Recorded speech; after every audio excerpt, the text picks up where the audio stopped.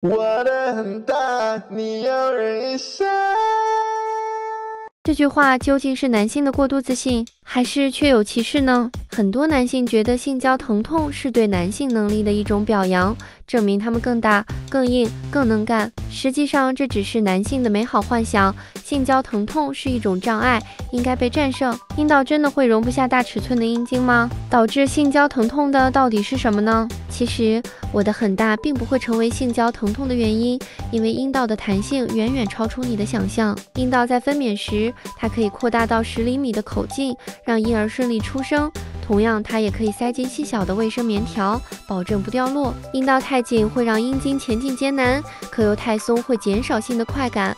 好在这里的肌肉可以通过锻炼来改善，也就是说，阴道松紧可以后天调节。阴道中上段是柔软可扩张的，虽然看起来像条扁平状管道，但是实际上更像是一个气球。如果有足够的性兴奋，子宫颈会向后收缩，女性阴道最多可以容纳约二十厘米的阴茎，而一般男性的阴茎勃起长度为十三厘米，而且阴道的适应速度比我们想象快得多。只要刺激充分，普通女人的阴道就可以容纳最粗大的阴茎。所以照这样来看，即使我的很大，也不会出现需要你忍一下的情况，只可能是我的很深，需要你努力够一下。那为什么大部分女性会觉得第一次疼呢？最主要的原因还是缺少经验。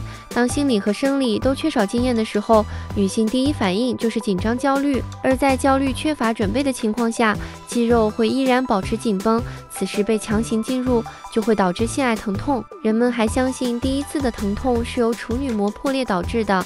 实际上，处女膜上的神经少，所以即使破裂带来的痛苦也有限。女性最常见的性交疼痛生理原因是什么呢？第一个原因是阴道干燥，过分干燥会引发性交时的阴道壁刺激。如果没有足够的阴道润滑，性交会变得痛苦。通常做爱时阴道干燥，说明前戏没有做到位，是男性的问题，请勇敢指责。第二个原因是感染，患有阴道炎、盆腔炎的女性会在性交时感到刺痛，甚至流血。不过这种疼痛在使用卫生棉条时也可能出现。第三个导致疼痛的原因是阴道痉挛，起源于当事人对疼痛的恐惧，这是心理层面的原因，比如对性的负面情绪、过于保守的道德教育、被性骚扰。性侵犯的过去都可能导致阴道痉挛，好在阴道痉挛可以在心理和行为治疗后得到很好解决。